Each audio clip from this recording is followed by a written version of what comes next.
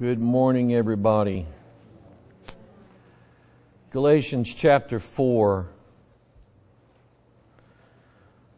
Who in here has ever heard of um, St. Valentine's Day? Who in here has ever heard of St. Patrick's Day? Okay. St. Valentine's, St. Patrick. Where do those where do those dates come from? Does anybody know? Nobody knows. Huh? Close to it. Close to it. Back thousands of years ago, the people believed in more than one God. The poor uh, Hindu people have 330 million gods.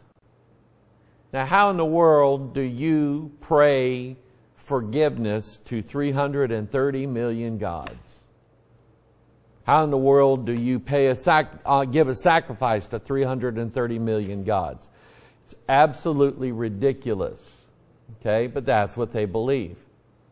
So in the old days, the people believed that there were multiple gods and that those gods had to be worshiped on certain days. So, Rome, Constantine of Rome, basically sees a sign in the sky and he, think it's, he thinks it's the cross. And so he thinks then he's supposed to be a Christian.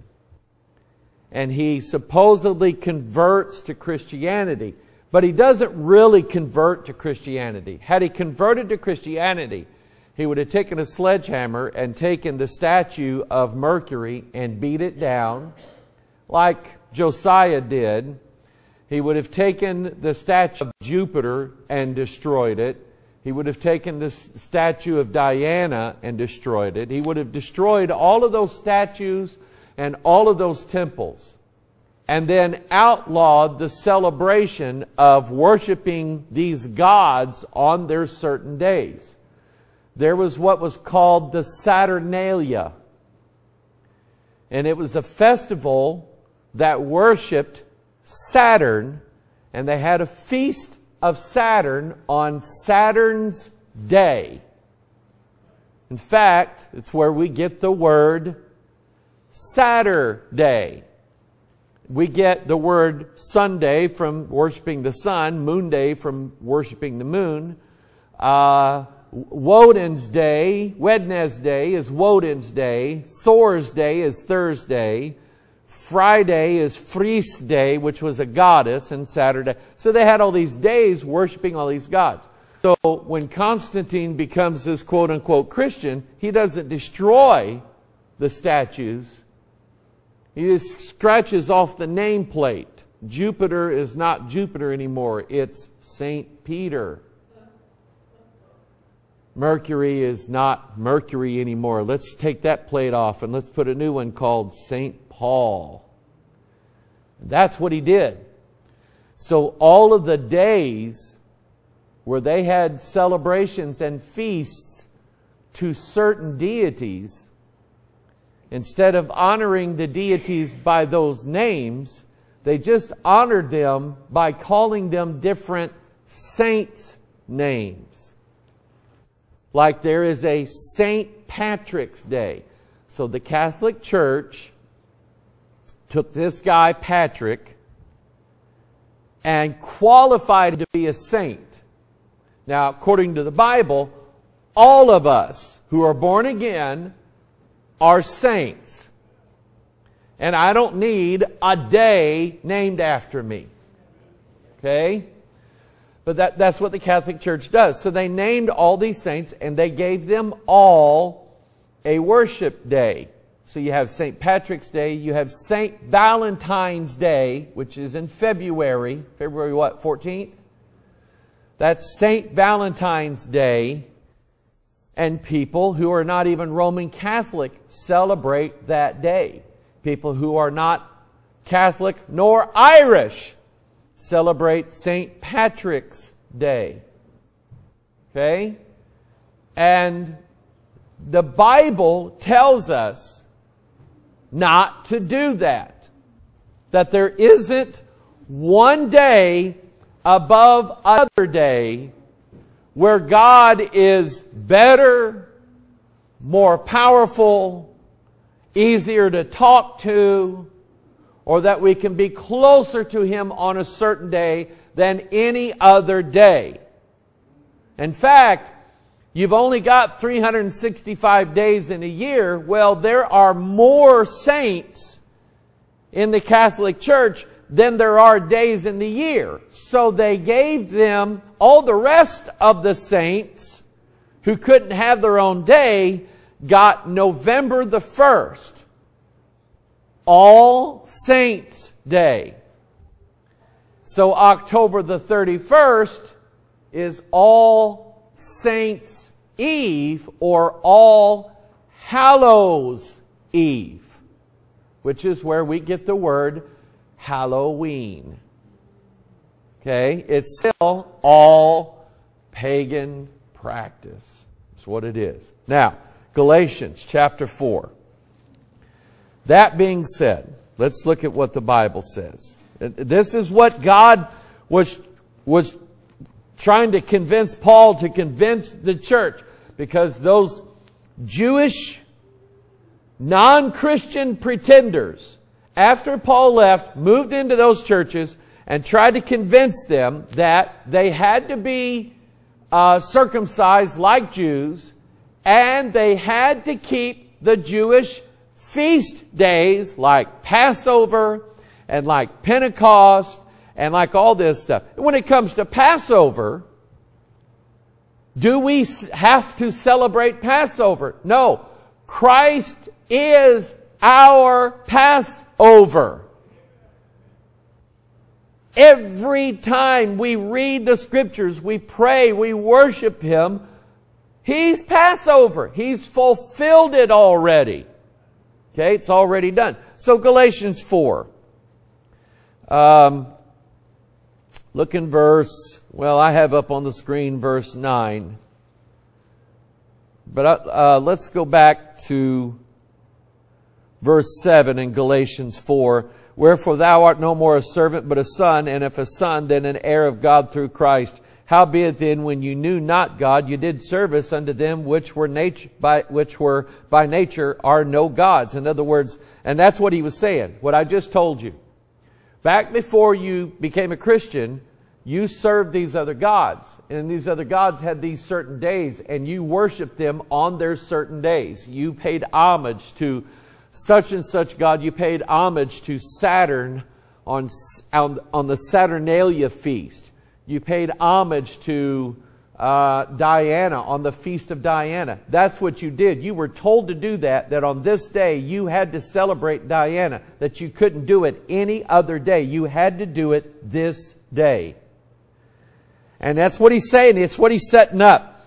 He said, verse 8 again, howbeit, um, when you knew not God, you did service unto them which by nature are no gods. Verse 9. But now, after that ye have known God, or rather are known of God, how turn ye again unto the weak and beggarly elements, whereunto you desire again to be in bondage? Once you've been set free, why in the world would you want to go back into bondage again? I don't. I have been set, I've been made free. Free from the old sins, free from the old thoughts, free from the old ways, the old things. I've been made free from those things. I don't want to ever go back to that. And Paul's saying, why would you do that? Why would you let these people come in and convince you now that Christ has made you free, why would you let these people come in and convince you that you had to worship, you had to go to church only on Saturday, you had to worship at all these feast days that God gave the Jews. You had to do all of these things. Why would you want to be back in bondage again is the question Paul is asking. And he says, and he says it in verse 10, ye observe days and months and times and years. Look at my fingers up here. Days, months, times, years. Why that number? Turn to, uh, turn to Genesis chapter 1 and I'll show you why that number. It has everything to do with who is behind these days. In Genesis chapter 1, verse 14, God said, Let there be lights in the firmament of the heaven to divide the, light, the day from the night. Let them be for, count these things, for signs, for seasons, for days, and for years. One, two, three, four. I've mentioned this, I, I talk about this every time. My dad was as good at planning things as anybody I've ever known. His dad was probably as good at it as he was, his mom and dad. Uh, my grandparents won in their city the best yard contest. They were in the local paper. They got a, they got a, a prize for the prettiest front yard because of the green thumb that my grandparents had. And they handed that down to my dad. And my dad said to me, You're not getting it. Because I kill everything. I kill, ev- but my dad could grow. But you know what? He got a farmer's almanac.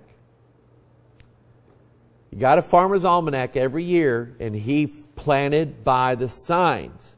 Because that's what God says here. They shall be for signs and for seasons and for days and for years. And dad knew when to plant. He knew when, he knew my dad would call me and say, Mike, the crappie over at Lake Kinkaid, Illinois are spawning at a certain place tomorrow. Let's go over there and get them. And Al, he was right. I'd drive him over there to Lake Kinkaid, and he knew, he knew exactly where to go in that lake on that day, and he knew they were spawning in that spot on that day. And boom, buddy, we was pulling them out of the lake as fast as we could pull them out. Okay? So, I mean, they're there for a reason. But understand these lights are also angels. Thus, they are gods. And people worship stars, don't they? What do we call the planets that circle the sun like the earth do? What do we, what do we name them? What have we named them? Did we name them Bob and Jim and Frank and Mary and what did we name them? By the gods. Mercury, Venus, Mars, Jupiter, Saturn. These are all the names of gods because they believed them to be gods and they worshiped them. So astrology is the religion that says that the position of these gods in the sky determines what's going to happen to me during my day. They are the ones who are in control of my life. And when you say that you follow astrology, that means you worship and serve those gods. Those gods said is going to happen to you. You believe that that's exactly how your day is going to go. And if, and if you're told by an astrologer, well, since you're a Gemini, you cannot marry or you cannot be friends with a Taurus, and if you believe that, then you stay away from Geminis and Tauruses and you stay away from all that stuff. You do what those gods tell you to do. But anyway, back in Genesis, uh, let them be for uh, seasons, for days, and for years. Let them be for light firmament of the heaven to give light upon the earth. And it was so. God made two great lights, and the, the greater light to rule the day, and the lesser light to rule the night. Made the stars also, and God set them in the firmament of the heaven to give light upon the earth and to rule over the day and over the night, and to divide the light from the darkness. And God saw that it was good, and the evening and the morning were the fourth day. Now, why do, you say, well, are these all these things evil? No, because Psalm 19 tells us that the heavens declare the glory of God, and the firmament showeth His handiwork. Day unto day uttereth speech, and night unto night showeth no uh, language, and there is no speech nor voice where their speech nor language where their voice is not heard. God put them up there to bring glory to God. The angels, the stars, honor God and worship and praise God, and they sing to Him night and day. But we know that there are evil ones who, instead of worshiping God, they themselves demand to be worshiped by mankind. And they say that you must worship us on our days. You must do it how we tell you to do it. So back in Galatians, you observe, uh, chapter 4, chapter 4, verse 10, ye observe days and months and times and years. Now, what did God have to say about the observing of times? And what that means is tomorrow, let's say tomorrow or yesterday was Saturday, or tomorrow is Monday. I must do this, or I must worship this God on Monday, or I must only do something on this particular day. What did God say about that? Well, Leviticus 19, verse 26, God said, You shall not eat anything with the blood. That means you don't drink blood, cow blood, deer blood, I never did. My dad never had this tradition where when I killed my first deer, he made me drink the blood. Thank you, Dad. Thank you, Dad. Thank you, Dad. But God said, don't drink blood. Don't do it. Don't, I don't eat blood sausage. You would never get me to eat blood sausage. God said, don't do it. He said, you shall not eat anything with the blood. Neither shall you use enchantment nor observe times. So let me ask you this question. Can God only be prayed to on Sunday while you're at church? Of course not.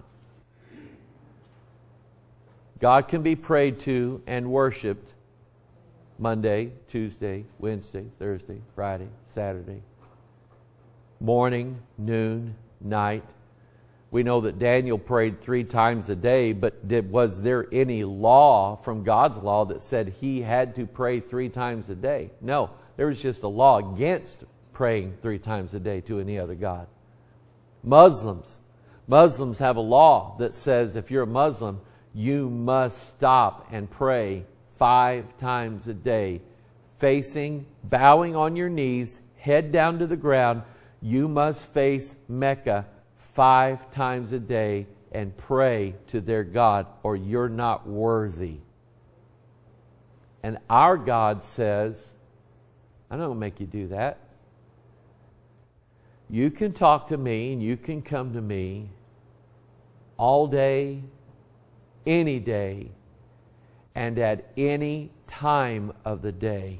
You can call upon me. There's freedom in that. There's liberty in that. In that I can call upon my God any time, any day. And there's no day, there is no day when God can be heard better than he can on some other day. And I, have I've come close to mentioning his name and I won't do it. But somebody that came out of this church has started a new church where they only worship on Saturday. And I taught him better than that. And he won't listen. He's got in with a Jezebel who I saw it coming. I knew what was going to happen. They were going to get into the Hebrew roots, follow the Hebrew customs, do everything the way the Hebrews did, because the idea is the Old Testament has a better understanding of who the Messiah is than the New Testament. That's not true. They couldn't even tell you in the Old Testament what the Messiah's name was. Because his name was never in the Old Testament. They couldn't identify the old the Messiah by the Old Testament. It took the four Gospels and the New Testament in order to be able to do that. But that's their mindset. The best way to understand the Messiah is to, do, is to see it through Jewish eyes. And yet the Jewish eyes looked right at the Messiah and they said, Billy, We don't know who this guy is. What a shame. Amen. Turn to Deuteronomy 18. Deuteronomy 18. I'm telling you, there are two religions in this world. Two and only two religions in this world. There is Bible believing, born again Christianity and witchcraft.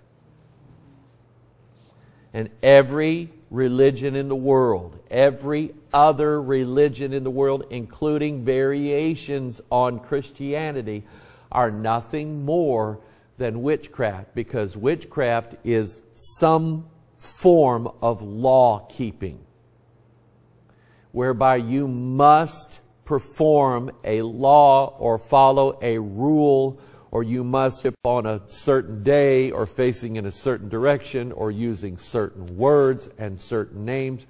Along with the Hebrew roots are what's called the sacred name people.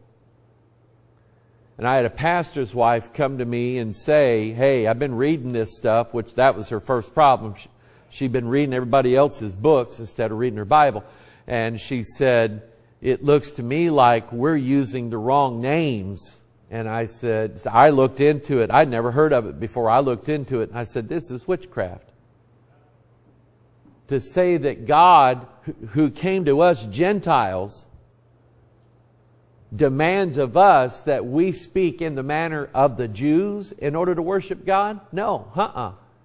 He left the Jews and came to us Gentiles. So it doesn't matter where you're Italian or you're German or you're Dutch or you're English or your what, Spanish or whatever, you call upon the name of the Lord in your language and He's the same God. Amen.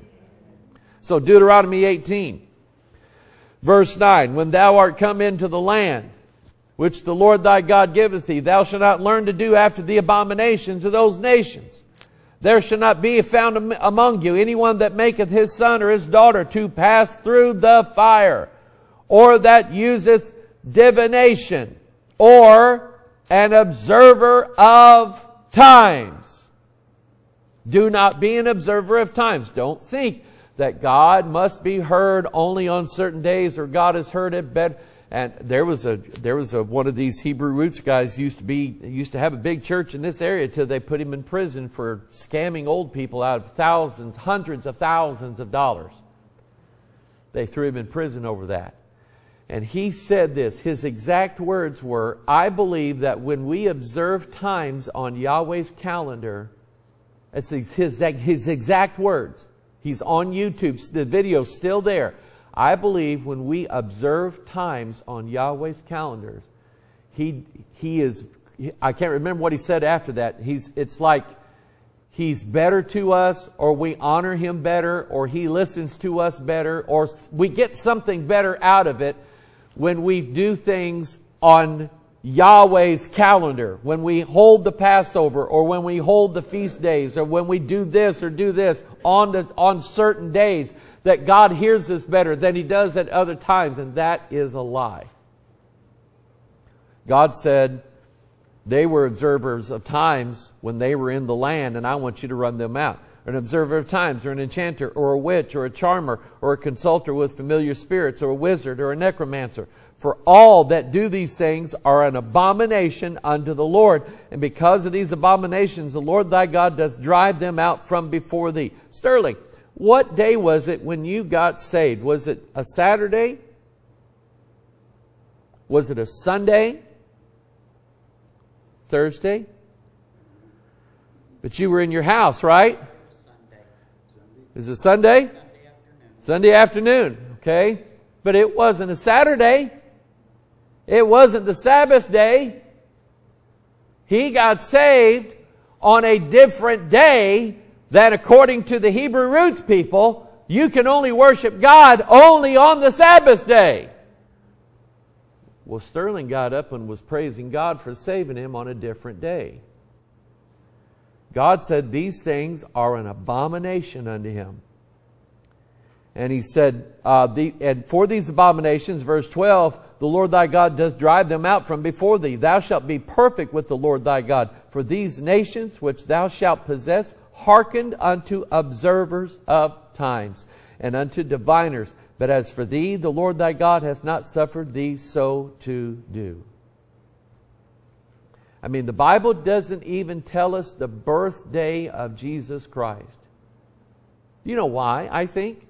I think because some, some church, some religious system would demand that everybody must honor that certain day, and if you don't do it, you're not really a Christian. So somebody chose December 25th, but so what? So what if you want to honor and celebrate the birth of Christ on a different day? Who cares? Who cares? Amen? Uh, Romans chapter 14, turn there. Romans 14.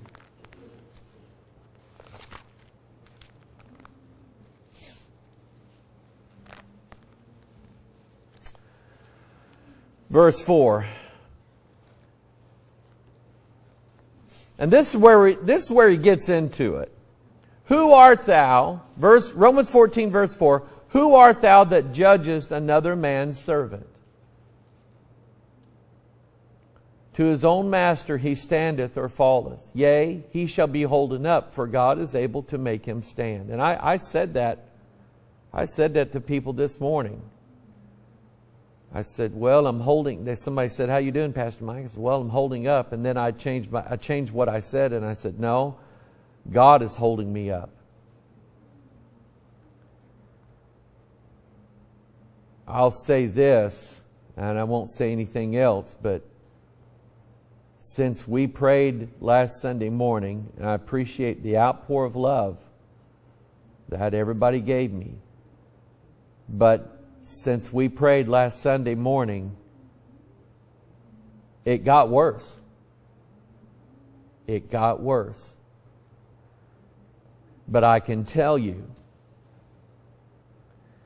that I am standing firmer for the Lord Jesus and His gospel than I have ever have before. And it got worse. Some of you know what I'm talking about. So God is the one making us stand. And let's say that, uh, Ross, let's use you for a minute. I always pick on the people who sit in this area, so I'm just telling you, this is what I do. You're the closest one. So let's say Ross has somebody he's been talking to about the Lord and all of a sudden they get saved. Ross, that wasn't you that saved that man. That was God through you using your testimony, your life to save that man. That way we don't get to take the credit for it. Credit goes to God. And I'm here standing today more faithful, standing stronger, but not because of me, because of God through me. God is able to make him. So, verse 5. One man esteemeth one day above another. So let's say that there are some people who read that they read the Old Testament and they see that the Sabbath day is holy and they want to worship God. They want to have a service on the Sabbath day. I'm, I'm not knocking that. I'm not, I'm not necessarily knocking it. It is a holy day. The law is still right. Now, for me, what do I do for a living? What is my labor? What is my work? Huh? I'm a pastor. What am I doing right now? This, eh, my labor is in the Word. Okay? Can I do that on Saturday? Not really. Because my labor, my work, is what I'm doing today. What I've chosen, I used to come over here on Saturday and work. And still, every now and then, if I know something needs to be done, this is where I'll be. But I've, God's dealt with me about, Mike, take a day, take Saturday off. Don't go to the church. Don't do a bunch of stuff. I mean, if you want to study, study. But take that day off, Mike. That's your rest day. So if I were to demand that we have church every Saturday, I would be breaking the very law of the Sabbath day because the Sabbath day, the law said, remember the Sabbath day to keep it holy. Six days shalt thou do all thy labor, and the seventh day ye shall what? Rest. So how do we keep the Sabbath day holy? Do we keep it by praising and worshiping God and having church service? No, we do it by resting because what did God do on the Sabbath day? He rested. And you know what I encourage you to do? Rest. Not work. Now, some people you know, we have some people who must work. Their work schedule requires them. And I had somebody call me on this. They said, my work schedule requires me to work on Saturday. Can I have a different day as a Sabbath? I said, yeah, why not? You're working six days. Take the seventh day and rest. It's the spirit of the law, not the letter of the law. God knows your heart. Okay? And, and, and all this is about, Go back to verse 5 here. One man is one day above another. Another esteemeth every day alike.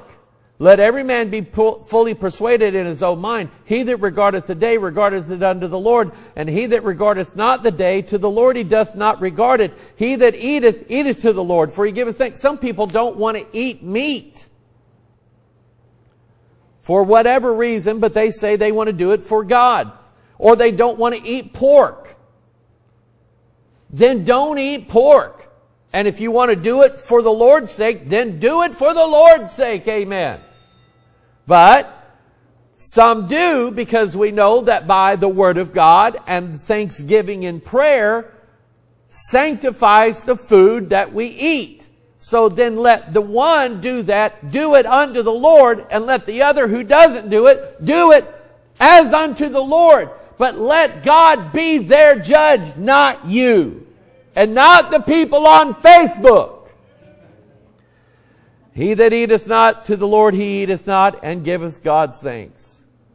And the idea is, see, by, by tradition, we've come on the first day of the week. Because seek ye first the kingdom of God and His righteousness, and all these things shall be added unto you, the Bible says. So we pick the first day of the week. It, it marks that it commemorates the day that Christ resurrected from the dead.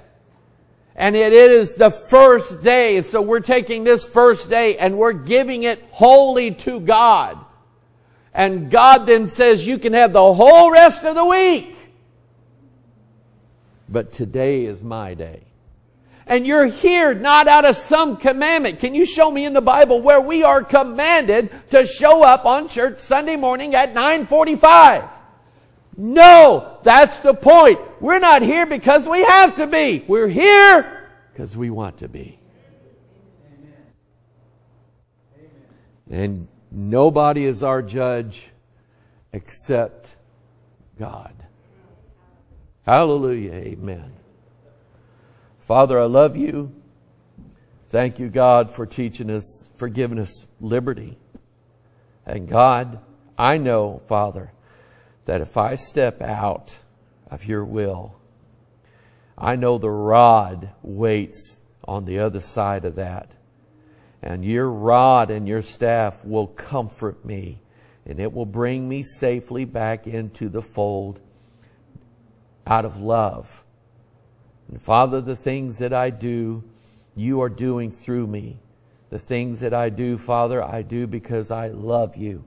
And the Father, the things that you are doing in me and through me and with everybody around me, God, you're doing it because of love and not commandment. And God, I'd rather serve you out of a free heart than out of I ha- something where it says I have to do it. Father, I'm, I'm not running out on my wife because I love my wife. Father, I'm not stealing money because I don't want money and I don't want to take from somebody else. God, I'm not lying to people because I want them to know that what I say is the truth. God, I do these things because I want to do these things. God, give us that liberty that we always want to do what's right. Bless your word, we pray in Jesus' name. And all of God's people said, Amen. God bless you this.